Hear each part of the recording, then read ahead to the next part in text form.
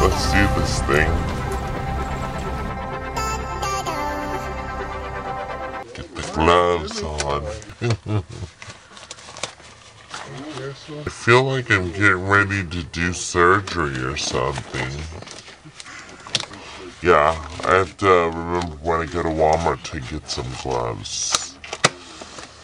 Don't want to get your hands all nasty. Okay, we're ready. What you think, honey, huh? What? Look how pretty it is.